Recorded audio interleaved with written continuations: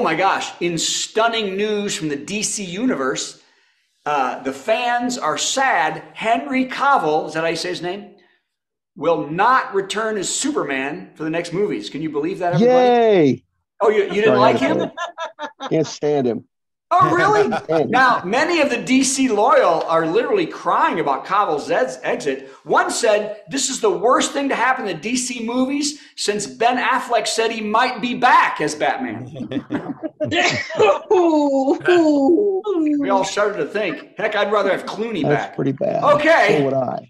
Yeah, Cl- thank you. Clooney was a better Batman than Ben. Everything oh, thought is so better too. Than was Ben awesome. Affleck in a movie. Why don't I like Ben Affleck? Let's ask that question.